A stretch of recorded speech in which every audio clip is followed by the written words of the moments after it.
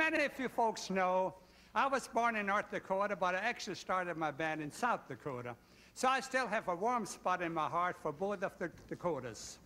One of our most famous national me memorials is located in the Black Hills of South Dakota.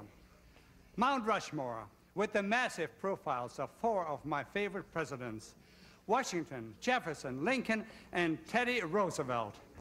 Here's a perfect setting for a song that expresses our feelings about our wonderful country.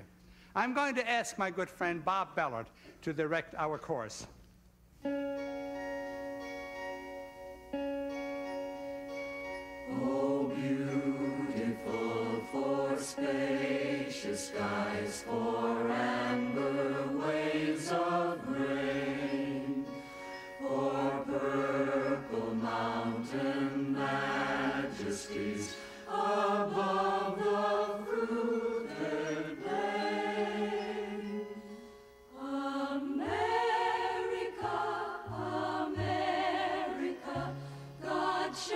Shed